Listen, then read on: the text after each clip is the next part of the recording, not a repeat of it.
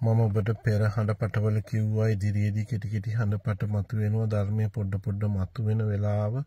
ඒ කියන්නේ සමහර ගැඹුරු කරුණු මතුවෙනවා. හැබැයි ගොඩාක් ගැඹුරු කරුණු මතුවලා තියෙන ඉදිරිපත් කිරීම එක පාට කරන්න බෑ තේරෙන්නේ නැති නිසා. දැන් මේ වගේ හඬපට සමහර වෙලාවට ලැබෙනකොට සමහර අයට මම දන්නවා අපහසු බව. මේ ධර්මයට සම්බන්ධ වෙන කට්ටියට විතරයි මේ උපකාර වෙන්නේ අනිත් අයට බන කියලා වැඩක් නැහැ. සමාජයේ වැඩිපුරම ඉන්නේ බුදුදහමට එකතු නොවන අය. ඒක නිසා තමන්ගේ හිතවත් නෑදෑයෝ පවුලේ අය වුණත් බුදුදහමට නොෙන්න පුළුවන්. අපි තනියෙන් තමයි මේ ගමන යන්නේ. හැමදෙනාම අරගෙන යන උත්සාහ කළාට හිතන්න එපා ඒ අයට මේක වැටහි කියලා. ඔබ කොච්චර උත්සාහයක් ගත්තත් තමන්ගේ පවුල තුලත් නෑදෑයෝ හිත මිත්‍රයන්ට උනත් මේක අවබෝධ කරවන්න අපහසුයි. ඒ නිසා තමන් තනියෙන් මේ ගමන යන්න ලෞකික හිතවත්කම ඔක්කොම හොඳට තියාගන්න. ඒ විදිහට ලෞකික හිතවත්කම ඔක්කොම හොඳට තියාගන්න. ඒක නිසා මේ ඒ වුණාට ධර්මානුකූලව තමන්ගේ ගමන තනියෙන් යන්න මම මේක කෙටියෙන් සඳහන් කරේ. ඒ නිසා ඔක්කොම අරගෙන යන්න වෙයි පුළුවන් වෙයි කියලා හිම හිතන්න එපා. දැන් මම මෙතනදී සාරාංශ කරන්න යන්නේ ඉතා වැදගත් දෙයක්. හැබැයි ඒක ගැඹුරු දෙයක් ඉදිරියේ තවත් පැහැදිලි කරන්න මේ බුද්ධ දේශනාව කියන්නේ තමන් තම තමා හදාගන්න මගක්. තම තමා හදාගන්න මගක්. අපි මේ බුද්ධ දේශනාවේ ස්ට්‍රක්චර් එක කිව්වොත් බුද්ධ දේශනාව කියන්නේ යම්කිසි විස්තර කිරීමක්. ධර්මය කියන්නේ. ඒ විස්තර කිරීම අපි විවිධ නම් දෙන්න පුළුවන් ප්‍රඥාප්ති කියන්න පුළුවන් ධාතු කියන්න පුළුවන්. ඒ වගේ පොදු පුද්ගල සංඥාවක් නැතුව තියෙන දීර්ඝ විස්තරයක් තමයි බුද්ධ දේශනාව. වගේ දීර්ඝ විස්තරයක්. ඊට පස්සේ ඒ දීර්ඝ විස්තරයක් බුදුරජාණන් වහන්සේ අවබෝධ කළා. ඒ අවබෝධ කරපු විස්තරය කෙනෙකුට පුද්ගලයෙකුට ලබා දෙනවා. කෙනෙකුට පුද්ගලයෙ ලබා. ඒ කෙනා එයාට හැකියාවක් තියෙන විදිහට ධර්මයේ දේශනා කරන්න යනවා නම් එයා එයාටම ආවේනික වූ රටාවකට බුද්ධ දේශනාව එකතු කරගෙන තියාගන්නවා. එකතු කරගන්නවා. දැන් මෙහෙම කිව්වහම මිනිස්සු උඹට කැමති බණ කියනවා කියලා නෑ එහෙම එකක් නෙමෙයි. මම මේ කියන්නේ උදාහරණයක් ඇටියට දැන් ධර්මය බුදුරජාණන් වහන්සේ අවබෝධ කරපත්ත දහම සැරියුත් මහරහතන් වහන්සේට දෙනකොට උන්වහන්සේ උන්වහන්සේට අනුව ඒ අවබෝධතා ඥානෙ ලබාගෙන ධර්මය කැටි කරලා එක තැනක තියාගන්නවා. ඊට පස්සේ උන්වහන්සේගෙන් කෙනෙක් ප්‍රශ්නයක් ඇහුවොත් ඒ කණ්ඩායමක් ඒ ඒගොල්ලොන්ට එතන තියෙන නැවත පුද්ගලයෝ ඉන්නේ. පුද්ගලයන්ට විස්තර කරන්නේ අර ප්‍රඥප්තිව හරි ධාතු ස්වභාවයෙන් කැටි කරගත් ධර්මයක් තුළින් තමයි ඒක දේශනා කරන්නේ. දැන් ඒවා ඒ ඒ ආකාරයට ඇවිල්ලා අපිට හවුවෙලා තියෙන්නේ වලිගේ පැත්ත. සූත්‍ර කියන්නේ වලිග. මුලේ පැත්ත නෙමෙයි ඒක තියෙන්නේ. ඒ නිසා අපි වලිග ඇහුනහම කෙනා කෙනා කරගන්න ඕනේ ඒක ඔළුවට දාගන්න ඔළුව පැත්තට අපි කියමු සතික් කියලා සතික්ගේ වලිග පැත්ත තමයි සූත්‍ර කියන්නේ. ඒ සූත්‍ර ටික අරයට කිව්වා මෙයාට කිව්වා කියලා අන්තිමට කියලා ඒ ටික ඔක්කොම එකතු කරාම තියෙන්නේ අර මං කිව්වේ තීසිස් එකක්. එහෙම නැත්නම් ප්‍රඥප්ති ටිකක්. එහෙම නැත්නම් ධාතු ටිකක්. එතකොට ස්කන්ධ ආයතන කියන ටික වැටෙන්නේ වලිගි පැත්තට. පුද්ගලයන්ට දේශනා කරපුවා. හොඳට මේක මං කිව්ව දේ තේරුම් ගන්න. එතකොට දැන් අද ත්‍රිපිටක පොත්වල තියෙන සූත්‍ර ටික. ඒ සූත්‍ර වලිග කොටසට වැටෙන්නේ කෙන කෙනාට කියපු ඒවා. සරියුත් හාමුදුරු දේශනා කරපු ආනන්ද හාමුදුරු බුදුරජාණන් වහන්සේ වලිග පැත්තේ. ඒ කියන්නේ කෝ එකේ ඉන්නේ ඔළුව පැත්තේ. කෝ එකෙන් තමයි ඒවා ප්‍රක්ෂේපණය කරලා ඒ ධර්මය තියලා ගිහින් තියෙන්නේ. අපි වලිගය හල්ලනවා වෙනුවට ඒ වලිගය අහලා වලිග තුලින් ධර්මය අහලා ධර්ම ශ්‍රවණය කළා තමාට ආවේනික වූ අවබෝධය ගොඩනැගෙන මාර්ගයක් හදාගන්න ඕනේ තම තමා. තම තමාගේ සක්කාය දිට්ඨි විචිකිච්ඡා සීලබ්බත පරාමාස පළමු තුනී කරන මගක් තමා හදාගන්න ඕනේ. එතකොට ඒ හදා ගැනීම සිත තුලත් වෙන්න ඕනේ. කෙනෙකුට සිත තුල හදාගන්න ඒ ක්‍රමය පටිපාටිය තව කෙනෙකුට නැවත හොඳට විස්තර කරන්න පුළුවන්. එතකොට අපි කියනවා එයාට බණ කියන්න පුළුවන් කියලා.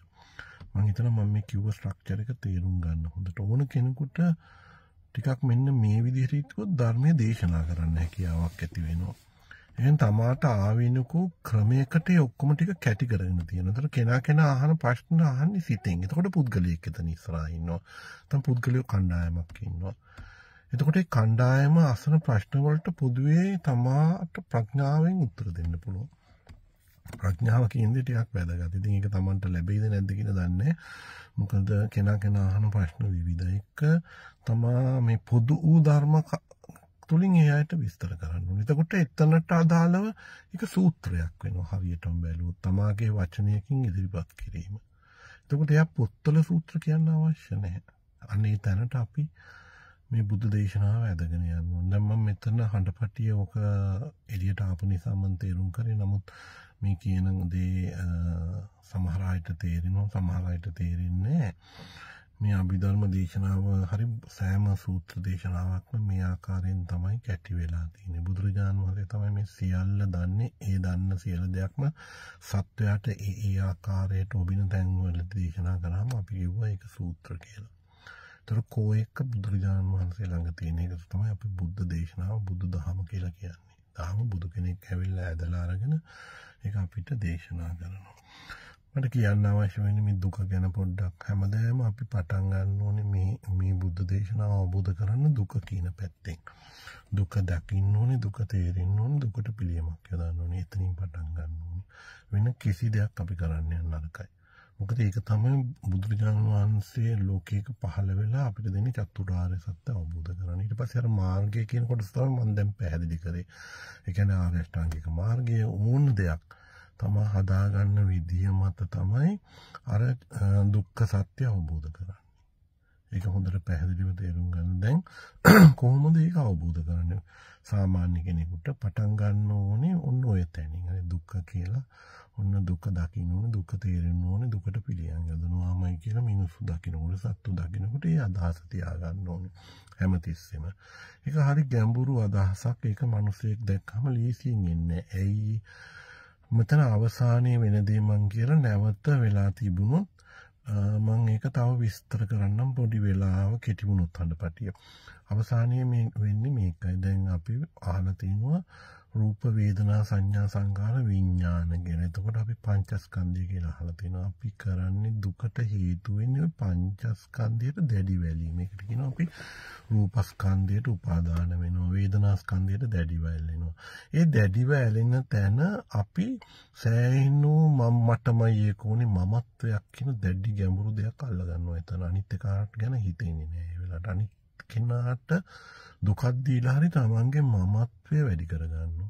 කියන්නේ තමන්ට එන වේදනාව අනිත් එක්කනට හරි වේදනාවක් දීන තමයි වේදනාව උපාදානස්කන්ධය කරනවා. ඒ කියන්නේ තමාට ලබන සතුටු වේදනාවට උපාදාන කරගෙන අනිත් කෙනාට දුකක් දෙන්න හරි තමන් සූදානම්. මේ පැත්තෙන් හිටියොත්. එතකොට සංඥා සංකාර විඥාන ඔය කියන්නේ ඒකයි. යමක් තමන්ට අයිති කරගන්න ඕන වුණොත් කියන දැඩි උපාදානය නිසා අපි තව කෙනෙකුට දුකක් දෙන්න හරි ලෑස්ති. එහෙම තමයි මිනිස්සු ඉන්නේ. බුදුරජාණන් වහන්සේ දේශනා කරනවා මෙන්න මේ තැන යථාර්ථය දකින්න. මේ උපාදානක් කරන්න යන තැන තමා යථාර්ථය දකින්න කෙනෙකුට දුකක් නොදී. තැනකුට දුක අවම කරලා. කොහෙත්ම දුකක් නොදී තමාට ලබාගන්න පුළුවන් දෙයක් මේ ලෝකෙ තියෙනවද. මේ ලෝකෙ තියෙනවද කියලා සිතන්න පෙළඹෙනවා. තදට මේ දුකක් නොදී කරන්න කරන විදිය. තමාට තදට දුකක් කෙනෙකුට දුකක් නොදී කරන විදිය. දුක අවම කරගෙන කරන විදිය. එහෙම නැත්නම් දුකක් නොදීම කරන විදිය.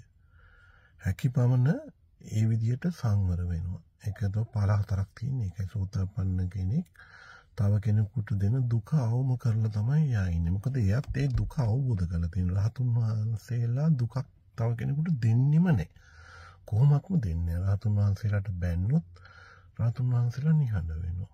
නිහඬ වෙනවා. අල්ලගන්න දෙයක් ලෝකේ නෑ.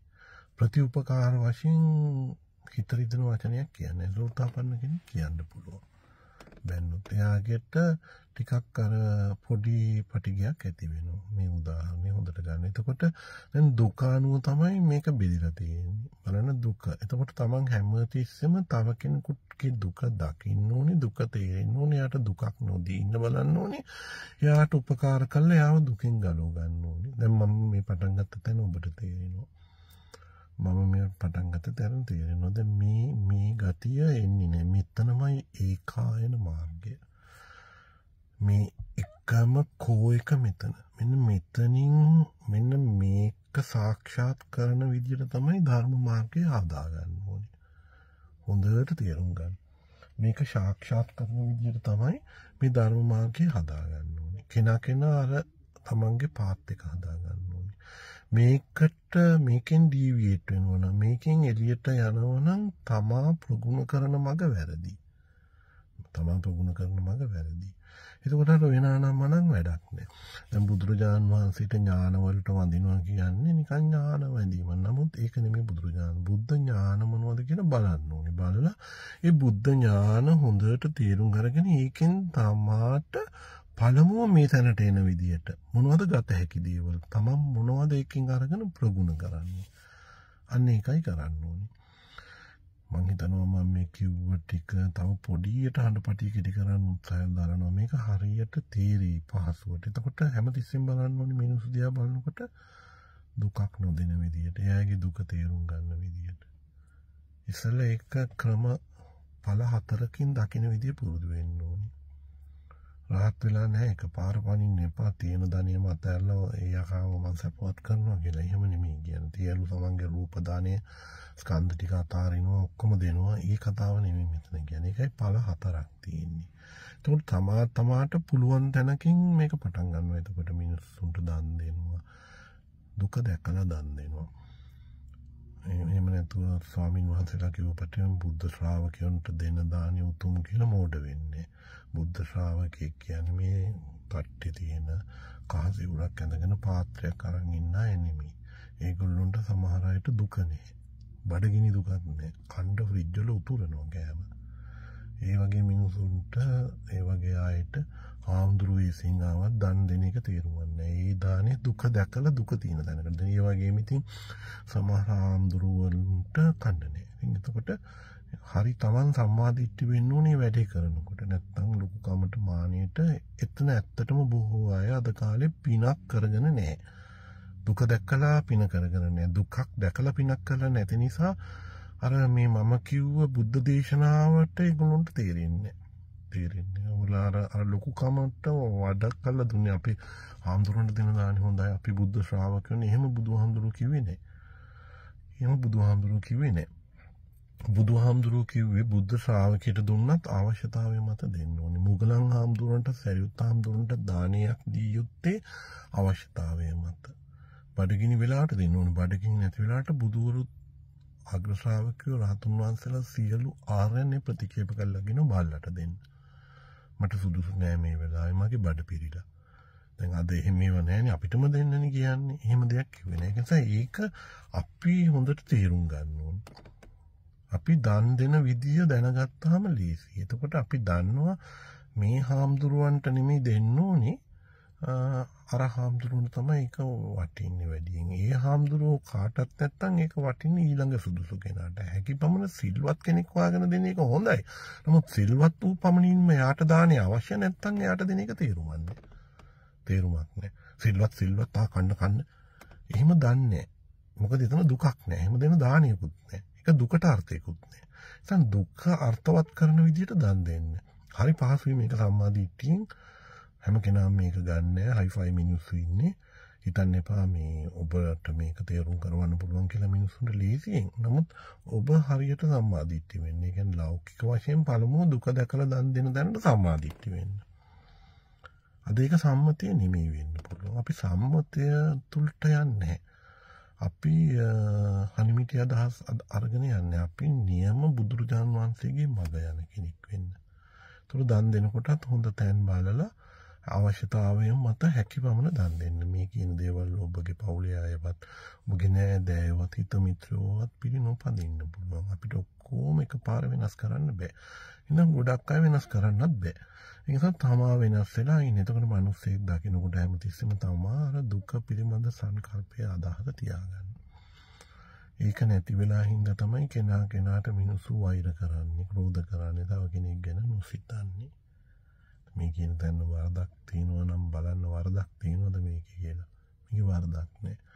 අපිට පුරුදු කරලා තියෙන්නේ ඕන කෙරුවාවක් කරලා පන්සලට ගිහින් ධාතුවක් වැඳලා පූජාවක් තියෙන මල් ගොඩක් තිබ්බහම ගොඩ යනවා කියලානේ පුම්බලා තියෙන්නේ. ඕන කෙනෙකුට දානයක් දුන්නට ඒක ලොකු මහ විශාල පිනක් කියලා ඔබ නග්ගලා තියලා ඔබ මේ පම්පෝරි ගහ